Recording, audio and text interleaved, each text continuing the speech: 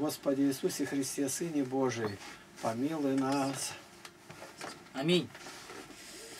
Матфея, 17 глава, 5 стих. Когда он еще говорил, все облако светлое осенило их, и все глаз из облака глаголющий, «Сей есть Сын мой возлюбленный, в котором мое благоволение, его слушайте». Толкование блаженного Феофилакта. Ты, Петр, заботишься о крови рукотворенном, а Отец, окружая меня другим кровом, нерукотворенным облаком, показывает, что как Он, Бог, являлся древним в облаке, так и Сын Его. Здесь облако светлое, а не объятое мраком, как было в древле. Потому что здесь хотел Он не устрашить, а научить. Ибо из облака был глаз, объявлявший, что Он был от Бога. Ну, то сравнение дается, как было тогда, и находится сродство, что Господь от Отца, а не просто самозванец. Тут, ну, ни, никак. Никуда не отойти, и в беседе не употребишь. Это никак не изменяется в церкви, никакого тут недостатка нет, это просто повествовательная часть Евангелия. Матфея 17 глава 6 по 8 стих. И услышав, ученики пали на лица свои и очень испугались. Но Иисус, приступив, коснулся их и сказал, «Встаньте и не бойтесь». Возведя же очи свои, они никого не увидели, кроме одного Иисуса. Толкование. Будучи не в состоянии выносить облачный свет и глаз, ученики пали на землю. Глаза их были как бы отточены сном, то есть они лишились чувств от видения. Чтобы продолжительный страх не уничтожил памяти о видении, Иисус пробуждает и ободряет их. Но уже остается один. Дабы ты не подумал, что глаз был о Моисее и Илии. Он относился только к нему, ибо он сын. Тоже толковать нечего. Мы в это верим и принимаем. А человек скажет, а я не верю. Но это как раз вопрос веры есть. Верующий в Сына Божия имеет жизнь вечную, а неверующий не увидит жизни, но гнев Божий пребывает на нем. Евангелие от Иоанна 3, 36. Все заключается в вере. И спорить с ним нельзя, и злиться на него нельзя. Почему? Ему не дано, у него этого органа чувств нет. Он это делает, человек слепой. А я буду злиться на него, что он не видит. Но он не видит, у него нет глаз. У другого нет слуха, глухонемой. Ну мы же не злимся на него, не долбим его, он глухонемой. Ну что он может сделать? Он глухонемой такой родился и человек здесь, но там он ничего не может изменить, а здесь может добровольно обратиться, покаяться и стать верующим, принять дары Божии.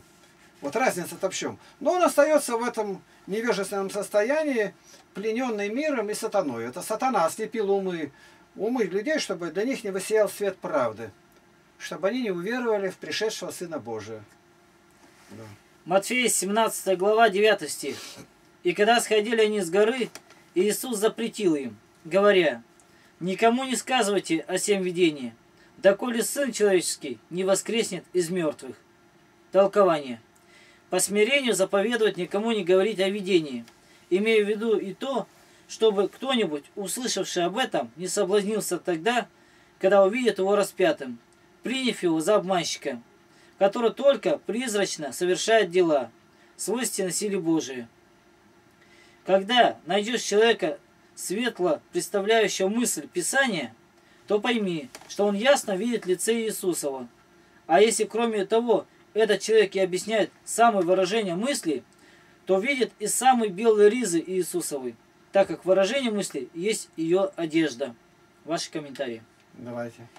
В каждом храме, в каждой церкви должны быть глубоко верующие проповедники, изъясняющие смысл Писания, умеющие бороться с волками и еретиками, эти знания должны быть у каждого христианина, тем более в наше время, когда можно достать, приобрести книги, истолковывающие смысл Священного Писания.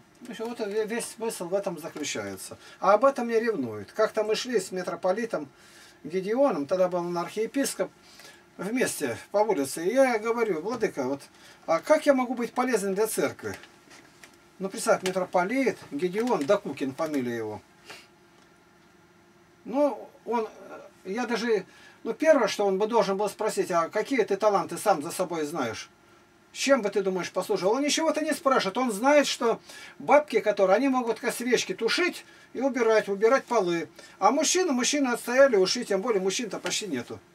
Но обо мне-то он так сказать не мог. Мы с ним много раз встречались, часа по два беседовали в епархиальном управлении города Новосибирска на улице Жуковского. Ну, он одно только спросил, и говорит, ну, в храм-то ты ходишь постоянно. Я говорю, я ни одной службы не пропускаю. Субботу-воскресенье имею в виду. Ну, а что тебе еще надо? Мне надо. Ну, я церкви нужен или не нужен с моими талантами? Какие это таланты у меня есть, я рассказываю. Ну, дворником приняли меня, снег кидать там. Мы еще условия поставил, чтобы мне никто не помогал. Им нужно было меня запрячь, и чтобы я никуда на благовестие не ходил.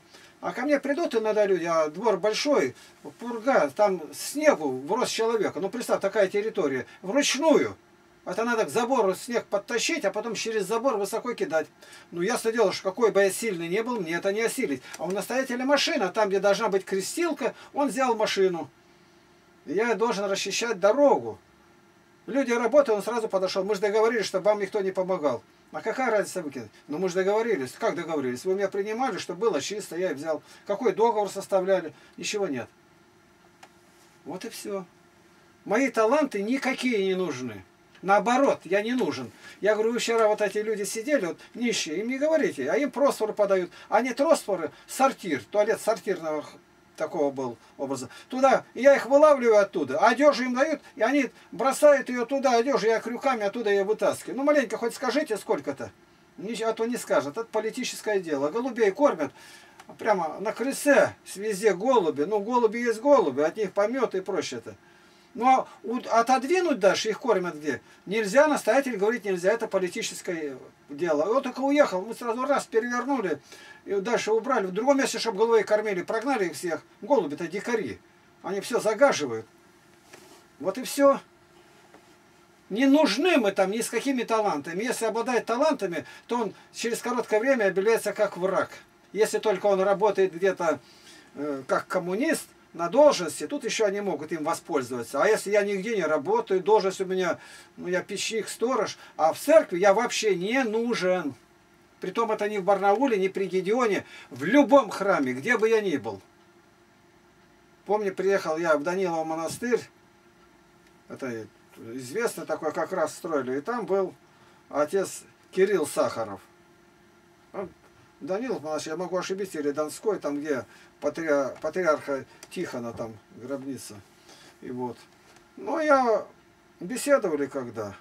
Я вышел, а у них там плиты взяты с могил. И по под ноги положены. Они, конечно, твердые, хорошие, эти чугунные плиты, но на них крест, изображение креста. Я сказал, что это нарушает правила. Если кресты изображены, их надо стирать. Так говорят каноны церковные это. Ну, это мигом сообщили, который там настоятель был, старичок такой, сагбенный, кроткий, кроткий. Вот. Но он узнал, узнал, что я сказал, что наступать на крестение, что я сказал не то. Я сказал согласно канонам. Ну как, это он здесь был, и он этого не знал. Ему единственное, что меня только изгнать. И на утро, а мы только вечером там на колокольне народ собирали, беседовали, это все Кирилл Сахаров, игумен.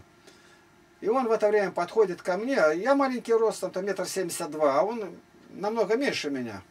Подошел, это вы, Игнатий, будете? Я молчу, стою. Я спрашиваю, ты, Игнатий, и литургия идет? Я показал палец, разговаривать нельзя.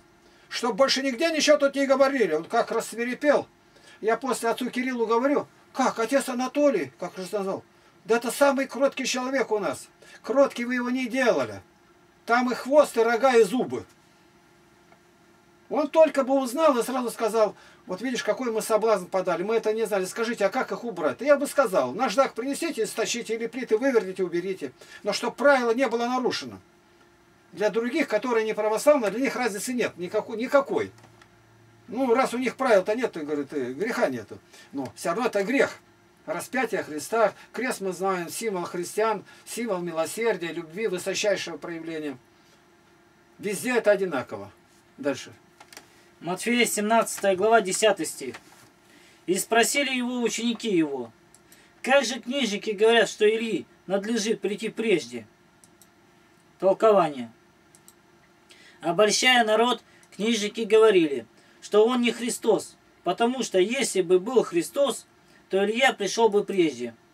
Они не знали, что два пришествия Христова, из коих первого притеча Иоанн, а второго Илья. Так объясняет это ученикам и Христос. Ну, вот они не знали, от этого ничего не менялось. Хотя нужно было это знать. Но мы-то теперь знаем. Но у нас-то сколько разных толкований, которые на сегодняшний день показывают. -то. Ну, совершенно ну, не, не, не, не по Евангелию. Что полностью церковь предал митрополит Сергий Строгородский. Ну, можно это народу-то объявить. Никогда нигде никто не знает, что патриархия московская образована Сталиной, Сталиным и Берией. 43 год, сентябрь. Хотя там разговор-то был еще дальше, в июне. Но это-то можно было сказать, ну хотя бы один раз. Один раз. Потому чтобы это не было новинкой для людей. Это ни под каким видом нельзя говорить. Но если согрешил э, Давид, об этом написано 50-й псалом. Здесь предательство церкви произошло. Все отдали советской власти. Епископа всех ставит ЦК КПСС, там, органы КГБ. Пятый отдел.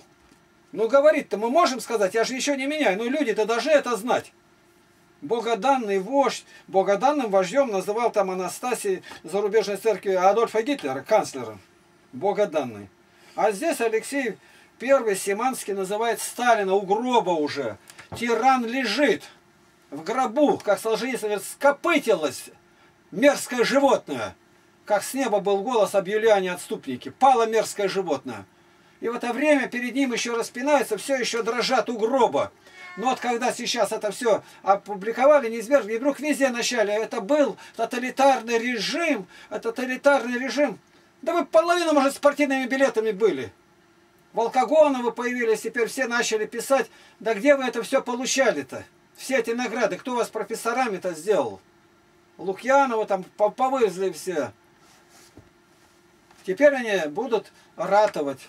Ельцин, президент, против там где-то. Но и ты-то из них же сам, та же самая элита партийная. Ну и здесь такая же история тогда была. Это все, все повторяется. Гробницы пророкам строят. Но и молчать не надо. Надо говорить. Кого-то это тронет.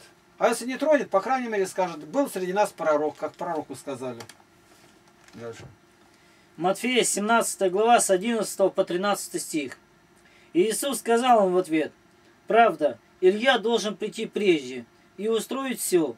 Но говорю вам, что Илья уже пришел, и не узнали его, а поступили с ним, как хотели.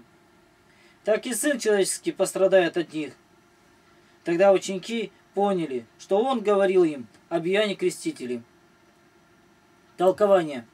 Словами «Илья должен прийти прежде» показывает, что он еще не пришел, а придет как предтеча второго пришествия, и возвратит к вере во Христа всех евреев, которые кажутся послушными, доставив им как бы отеческое наследие, которого они лишились. А словами «Илья уже пришел» указывает на Иоанна предтечу. Они сделали с ним, что хотели, только убивши его, ибо позволивши Ироду убить его, тогда как могли воспрепятствовать всему, они тем сами сделались убийцами его толковать ничего не еще. Могли воспрепятствовать. Да кто его знает, как могли воспрепятствовать? Это только разговор один идет. Это так написано, так предузнано было. Ему должно было умереть. И что нужно? Да ничего, благодарить Бога. Благодарить Бога, что нам это открыто. Что Ян не отрекся, что Ян был верен. Да нам даже странно, ну кто-то мог не отречься. Но об Иоанне говорить отрекся, к нему даже это слово-то неприменимо. Это был ангел во плоти, он так и называется. Пошлю ангела мой перед тобой, пророк Малахия пишет. Называя ангелом Иоанна Притечу и называя одновременно Сына Божия Иисуса Христа ангелом. Но это образное выражение. Ангел означает посланный. Посланный. Дальше. Матфея 17 глава 14-15 стих.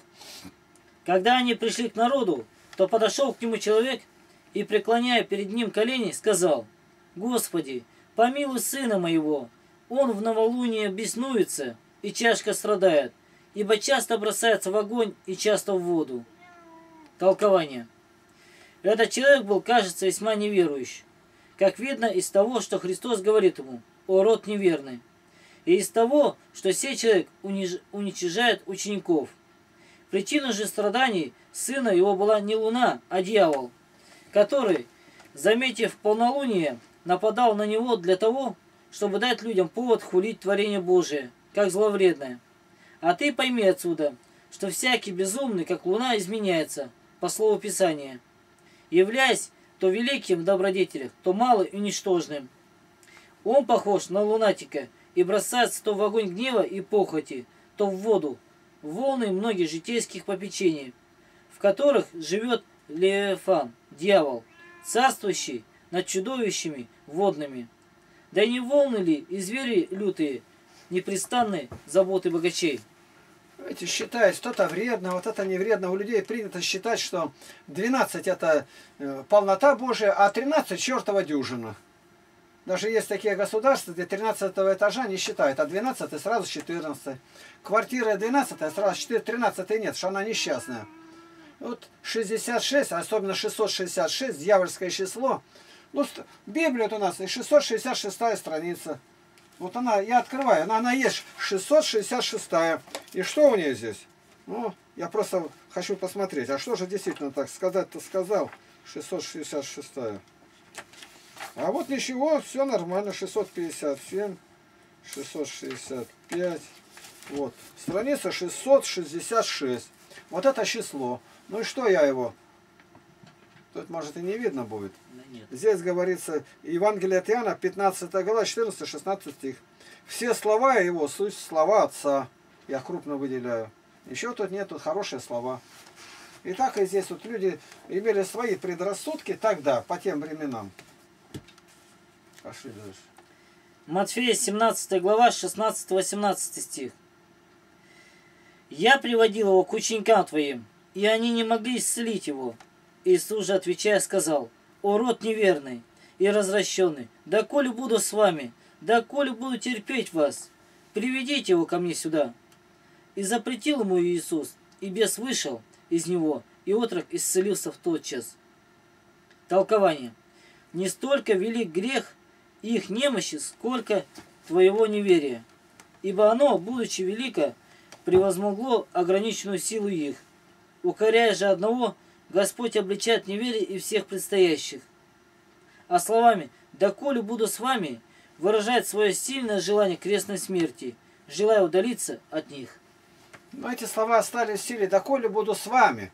Пригласили Христа, стою у двери и стучу. Теперь он к нам вошел, мы открыли двери. А теперь к нам и говорит, доколе я буду с вами терпеть вас. Это первый порыв, уверовал, возгорелся огонь, ну, быстро взошло, но корня не имеет. И зашатался человек, смотришь, ни на что не похожая жизнь-то идет-то. Конечно, Господь говорит, в гости мы его пригласили, доколе я буду с вами. То есть я не знаю уже, что, не, как будто бы говорит, я не рад, что я зашел к вам. Потому что здесь пьяных воплей, что попало делать, и деретесь, скандалите. Вот если слова-то эти переменить на сегодняшний день, да, эти слова к нам, доколе буду терпеть вас, он просто терпит. Как раз одеваться некуда. Терпит до времени, терплю до конца, буду мучить без конца. Такое выражение есть, хоть и не библейское. Дальше. Матфея 17 глава с 19 по 21 стих. Тогда ученики, приступив к Иисусу наедине, сказали, «Почему мы не могли изгнать его?» Иисус же сказал им, «По неверию вашему. Ибо истинно говорю вам, если вы будете иметь веру с горчичным зерном и скажете горе перейди отсюда туда, и она перейдет, и ничего не будет невозможного для вас. Сей же род изгоняется только молитвою и постом. Толкование. Апостолы убоялись, и не, не утратили они, этот, они дарованные им силой над демоны. И потому наедине с беспокойством так спросили Иисуса. Ибо если бы вы имели теплую, горячую веру, то она, хотя бы была и мала, совершила бы великие дела. Впрочем, где апостолы переставляли горы – об этом не написано. Но апостолы не говорили горам всего, потому что не требовалось его ни время, ни нужда. А потому они и не представляли гор. А если бы сказали, то и переставили бы. Поститься же нужно тем, особенно, кто одержим демонами, и тем, кто хочет от них врачевать. А молитва истинную бывает тогда, когда она чужда нетрезвенности и соединена с постом. Всякая вера есть как бы зерно горчичное. Оно почитается ничтожим по причине буйства проповеди. Но если пойдет на добрую, на, на добрую землю, возрастает в древо великое, на котором гнездятся птицы небесные, то есть помыслы, стремящиеся в высоту. Посему, кто имеет теплую веру, тот может сказать горе сей, приди и придет. Приди и придет. То есть сказать демону, изыди и изыдет, ибо известно, что демон исходит. Ну, здесь говорится переставлять горы. Ну, образно сказать, большие препятствия. Жены шли, камень был весьма велик, кто отвалит от гроба. Ну, мы иногда употребляем фразу, но к этому вот это место. Переставляет горы трудности, обстоятельства невыносимые. Вот у нас нынче в поездке, это миссионерской, такие препятствия были. Были. Это не минимум три препятствия, только пересечь границу шенгенской зоны. Но Господь все устранил, как будто никогда их и не было. Мы весьма дивились, молились, благодарили Бога. Конечно, внутри было ожидание, то, что предупреждали, беда какая. А Бог так делает, горы буквально. Есть люди, которые враждебные, нас знали, их сдвинуть нельзя, ничего нельзя сделать. Единственное, что могу молиться. Вспомните книгу «Исфирь». На пути встал Аман, эту гору не сдвинешь. Ну вот молились, вопияли, и ночью Бог открыл истину. Открыл, и все было по-другому поставлено. Бог отнял сон. Так что бессонница на пользу верных, особенно бессонница царей. Библиотека и библиотека на пользу их там они открыли. Вот наши книги лежат. А может там их не считают, может не считают. А может сожгли, может сожгли. А посылает миссионеров. Скольких убили? Кого не гнали отцы ваши? Поэтому мы все делаем, сеем, и оно иное поклевано будет, иных убьют. Но они продолжают свое дело и идут. Дальше. Матфея 17 глава 22-23 стих. Во время пребывания в Галилее Иисус сказал им, «Сын человеческий предан будет в руки человеческие, и убьют его, и в третий день воскреснет». И они весьма опечалились. Толкование. Часто предсказывают им о страданиях, дабы не подумали, что он неохотно страждет, и дабы приучились к этому и не смутились его страданиями, когда они настанут как событием неожиданным. Но прискорбной вести присовокупил и радостную, что он воскреснет. Вот неожиданно, когда человек ну, живет и живет, не думает, то это переносится намного тяжелее, говорит Иоанн Златоуст. Я все время на, иду по улице, и мне мысленно представляется, вот здесь огонь и дым и пыль до неба, как в третьей книге Ездер написано. Я знаю, что это будет. Когда Тавид умирал, то сын Утовия наказал, ты Ниневию покинь. Бог пощадил ее при пророке Ионе, но Бог сказал, он только отодвинул, он ее все равно погубит. Ну и погубил. С Россией покончено. Так говорят люди, знающие это. Ну, я отвечаю, а я с этим не согласен. Ну, что, что не согласен-то? Ну, поэтому я стараюсь делать то, то, что отвращает гнев Божий, чтобы люди покаялись что приняли его своим спасителем, как сказано, пустили его в комнату к себе, в свою жизнь. Мы придем с Отцом, а обитель у него сотворим. Вот тогда Христос мирно, говорится, эту обстановку нашу и развел бы. А сейчас все вокруг против. Никакая армия, никто не поможет даже на один день. Поэтому, если я это ожидаю, считаю, что мне перенести это легче. Вот я встал сейчас и сказали, там Япония, тут Китай, тут Турция, тут Америка, двинулись, сейчас все. Но я это знал, я об этом проповедовал и говорил. Для меня это не является неожиданностью. Я знал, что Советский Союз падет, развалится. Ни о какой Беловежской пуще не знал. И когда случилось, а тут коммунисты стрелялись, а для меня вообще ничего в этом не было. Никакое это не событие. Для меня оно давно было разрушено. Конгломерат злодейства должен быть разрушен. Империя зла должна рухнуть. Империя лжи должна сгореть. Вот это я знал, ну и старался проповедовать, говорить, чтобы люди не погибли. Дальше. Матфея 17 глава с 24 по 27 стих. Когда же пришли они в Капернаум, то подошли к Петру собиратели дидрахм и сказали, «Учитель ваш не даст ли дидрахмы?» Он говорит, «Да». И когда вошел он в дом, то Иисус, предупредив его, сказал, «Как тебе кажется, Симон, цари земные с кого берут пошлины или подати? сынов ли своих или с посторонних? Петр говорит ему, с посторонних. Иисус сказал ему, итак, мы сыны свободны. Итак, итак, сыны свободны. Но чтобы нам не соблазнить их, пойди на море, брось уду, и первую рыбу, которая попадется, возьми, и, открыв у нее рот, найдешь сатир. Возьми его и отдай им за меня и за себя. Толкование. Бог вместо первенцев еврейских благоволил осветить для себя колено Левиина.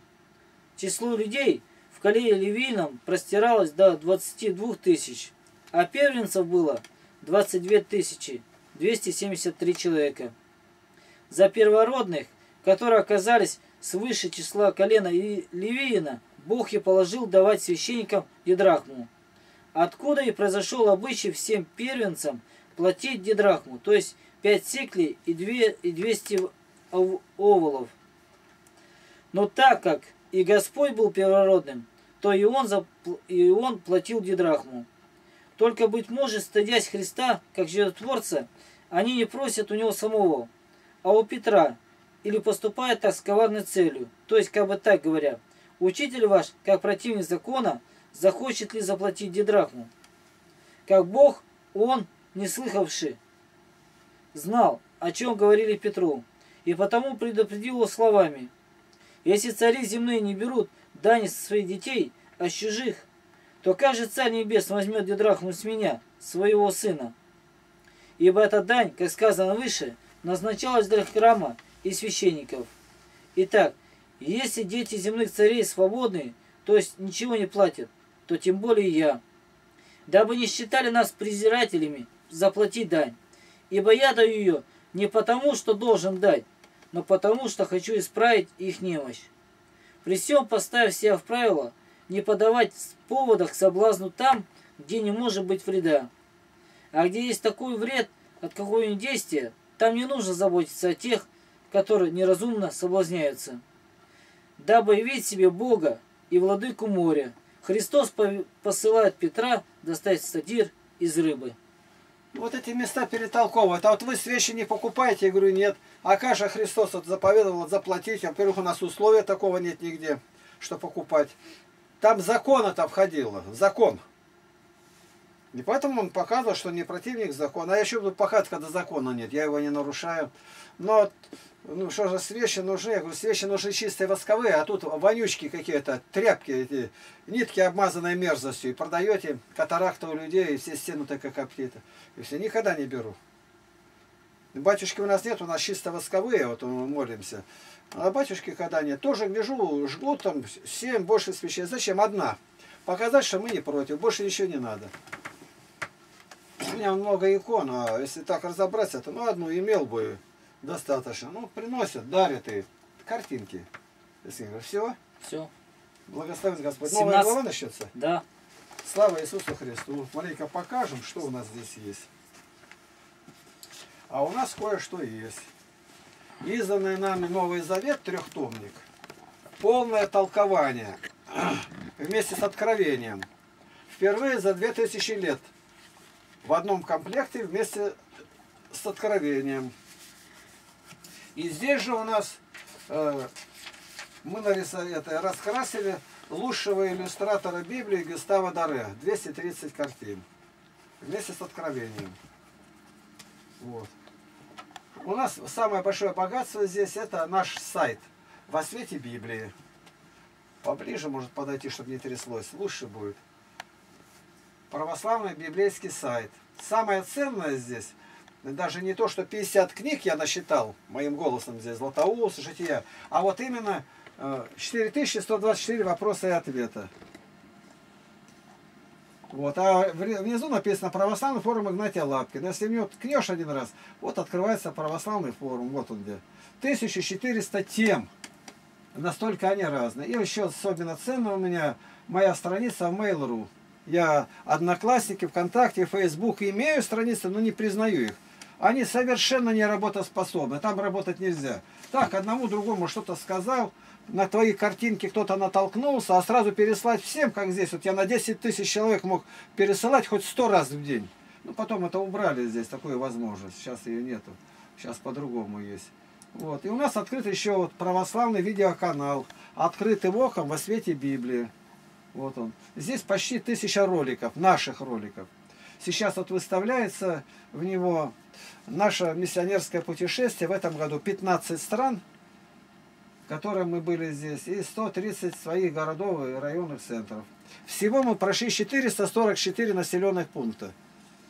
Это 15 стран в этом году. Если Господь благословит, то можем мы в этом году еще совершить. Вот это живой журнал. Тоже э, хороший материал, поставили, сколько ходит людей, что они тут говорят, ни связи никакой, ничего нигде нету. Ну, совершенно, я думаю, после того, как если Mail.ru есть, и создавать еще что-то, это не понимать, что делать. Это все проигрывают. Почему? Нет широты общения. Я не могу повлиять э, так, как могу повлиять в Mail.ru. Ну, сейчас почти там нет такого. Вот мы призываем всех, говорим, это www к истине 1 народ.ру. И люди, которые желают, они могут к нам прийти. Все, пока подойди тут, поснимаю.